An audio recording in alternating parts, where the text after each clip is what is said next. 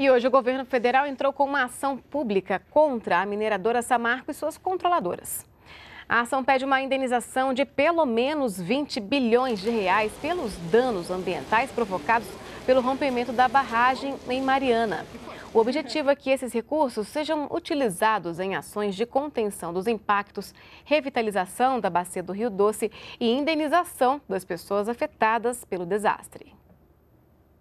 O que esperamos é que a partir de agora sentemos com a empresa para a partir daí tentar operacionalizar uma série de questões trazidas nessa petição inicial de ação civil pública. Entre elas a constituição do fundo que sem dúvida, se tiver a participação proativa das empresas réis, sem dúvida que será muito mais, muito mais factível e muito mais palatável para todas as envolvidas para formar esse, esse, esse, esse fundo e aportar os recursos necessários.